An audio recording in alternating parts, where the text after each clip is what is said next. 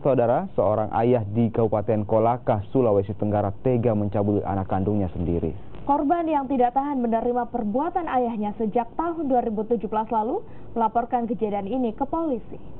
Kejadian ini diketahui setelah korban yang baru berusia 15 tahun ini melaporkan pelecehan yang dilakukan ayahnya saat korban tidur di dalam kamar seorang diri.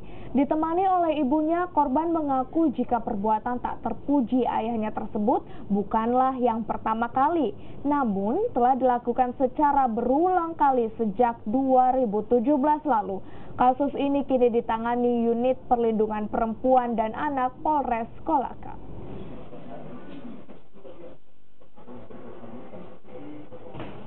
Terjadi tindak pidana pencabulan terhadap anak di bawah umur, di mana pelaku adalah ayah kandungnya sendiri dengan inisial YN, 46 tahun, warga Kecamatan Ulako. Dalam untuk kronologisnya sendiri seperti apa?